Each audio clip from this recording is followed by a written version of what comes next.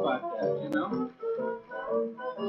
Number one fans, and I'm going to promise you this, that we're going to have the number one team, too. All right.